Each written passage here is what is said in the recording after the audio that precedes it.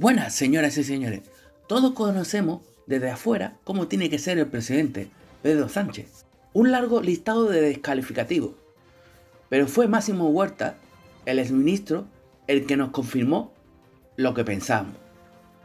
Máximo Huerta fue el invitado del hormiguero de Pablo Motos, el 30 de enero, que fue el que nos describió a la perfección cómo es el presidente de gobierno, y no nos equivocábamos.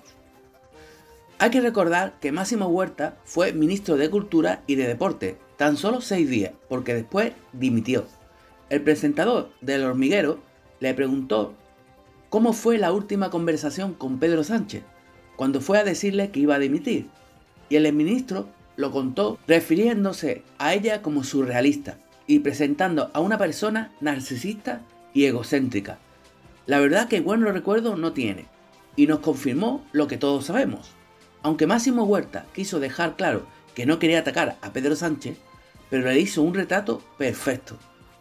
Aquí os dejo un fragmento de la entrevista. Momento. Y entré a hablar con él. Y decirle, me voy, no pasa nada. Lo que me resultó paradójico es que en, en lugar de ni un confío, ni bueno, pues ha sido... Empezó a hablar de él, de cómo se le vería la historia en el futuro. Palabras que hace poco ahora dirán, le da una puñalada a Maxim Huerta al diario.es.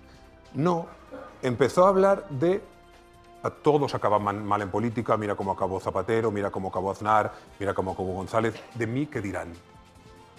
Y yo me daban ganas de decir, padre, que estoy hablando yo, déjeme hablar. Sí, y dijo eso, por eso no me sorprendió lo del otro día, yo ya lo había escuchado. Yo no, yo, esto no es dar dos a tal ni esas cosas. Hay que justificarse todo el rato, como diría Del Val. Pero es que es verdad. Y yo me acordé que ya me lo había dicho a mí.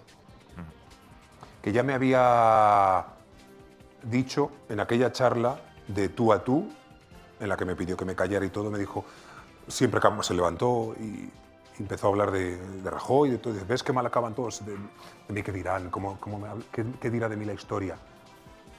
Me bajé con unas ganas de dimitir.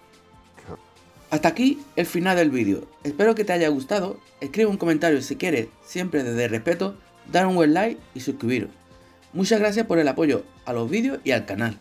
Y bueno, hasta la próxima noticia, amigos.